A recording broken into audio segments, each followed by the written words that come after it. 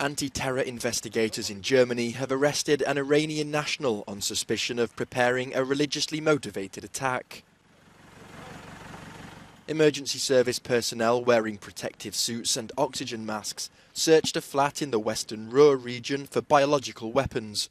The 32-year-old suspect was believed to have procured lethal poisons, including cyanide and ricin. But authorities have confirmed that no evidence was found on the premises. A total of two men were reportedly taken into custody. The highly toxic ricin is listed as a biological weapon, while even the smallest amount of cyanide can have a lethal effect on humans. Investigations are ongoing to establish how far attack plans had progressed and whether there was a concrete target.